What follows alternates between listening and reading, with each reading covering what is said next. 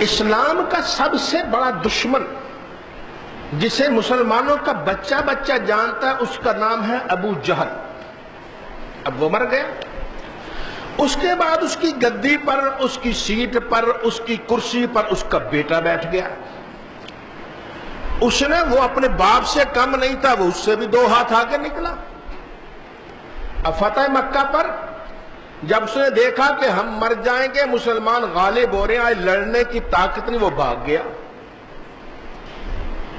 اب بھاگ گیا تو نبی کریم صلی اللہ علیہ وآلہ وسلم نے اعلان فرما دیا تھا کہ سب کو معافی ہے، سوائے ان چند آدمیوں کو، ان کو معافی نہیں ہے۔ ان میں سے ہی ابو جہل کا بیٹا بھی تھا۔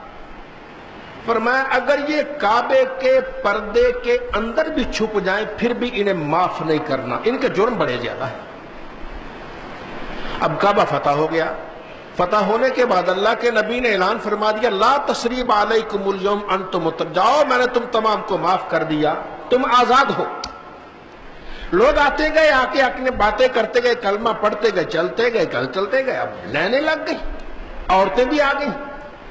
ایک عورت منہ چھپا کے آئی اور آ کے کہنے لگی، جناب مجھے معاف کر دے۔ فرمایا، جا، تجھے معاف کر دیا۔ کہنے لگی، جناب میرے خامن کو معاف کر دے۔ فرمایا، اسے بھی معاف کر دیا۔ کہتی، مجھے پہچانا؟ اچانک اس نے چہرے سے کپڑا ہٹا دیا۔ تو آ کر فرمایا، تو اکرما کی بیوی ہے؟ ہاں جناب، میں اس کی بیوی ہوں۔ اب فرمائیے۔ فرمایا، محمد صلی اللہ علیہ وسلم جو بات زبان سے کہہ دیتا پھر ساری زندگی اس سے پھرتا نہیں ہے. جا، میں نے تیرے بیٹے کو معاف کر دیا.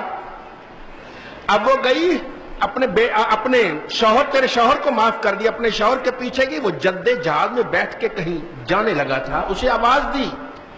وہ بڑے کریم ہیں، بڑے رحیم ہیں، بڑے شفیق ہیں. انہوں نے معاف کر دی آ جا. اب وہ واپس آ گیا. اور واپس آیا شہ کونین کے دامن کرم سے لپٹا، اللہ کے نبی نے اسے کلمہ پڑھایا۔ پھر اس کی حالت یہ ہو گئی نبی و یوزکیہم ایمان والوں کو پاک کرتا ہے۔ اتنا پاک کر دیا، ابو جہل کا بیٹا، اب لوگ رات کو سو جاتے، وہ ساری رات کھڑے قرآن پڑھ پڑھ کے روتا رہتا تھا۔ نمازیں پڑھ پڑھ کے روتا، اس کو کس نے بدلا؟ وہ ابو جہل کا لطفہ ہے، کس نے بدلا؟ وہ نبی ہے، نبی کی شان ہی ایسی ہے جسے پاک کرتا تو پھر پاکوں کا بھی امام بنا دیتا ہے۔ اب وہ ساری رات قرآن پڑھتا رہتا تحجد پڑھتا رہتا، روتا رہتا، پھر اکرما نہ رہا، حضرت سیدنا اکرما رضی اللہ تعالیٰ عنہ بن گیا، صحابی رسول بن گیا، یمامہ کی سرزمین، نبی کریم کی نبوت کا دفاع کے لیے۔ جب صحابہ جاتے ہیں وہ بھی جاتا ہے اور دشمن سے مقابلہ ہے دشمن سے مقابلہ ہوتے ہی دشمن نے وار کیا، ادھر سے وار کیا، کئی آدمی اس نے مارے اب یہ بھی شہادت کے قریب آ گیا، زخم ہے۔ یہاں تلوار ہے، یہاں نیزہ لگا ہے، تیر لگے ہیں، اب وہ جسم چور چور ہے بازو کٹا ہوا ہے، ٹانگیں کٹی ہوئی، لیٹا ہوا ہے، آخری وقت ہے۔ ایک آدمی پانی کا مشکیزہ لے کے نکلا۔ قریب آیا تو اس نے کہا، پانی. اب اس نے پیالہ آگے کر دیا۔ ساتھ والا ایک اور زخمی کہتا، پانی. کہتا، نہیں، پہلے اسے پلا دو اب. اتنا پاک کر دیا کہ دوسرے مومن کا خیال رکھ رہا ہے، پہلے اسے پاک کر دو. اس کے پاس کے آگے آواز آئی، پانی۔ اس نے کہا، مجھے چھوڑو، اس کو پاک اس کو پانی پلا دو۔ اس طرح سات آدمی کہتے رہے، وہ پانی پانی، وہ آگے جاتا رہا۔ ایک نے بھی گھونٹ نہیں کیا۔ جب واپس آتا ہے ساروں کے سارے ساتوں کے ساتوں اللہ کو پیارے ہو چکے ہوتے ہیں۔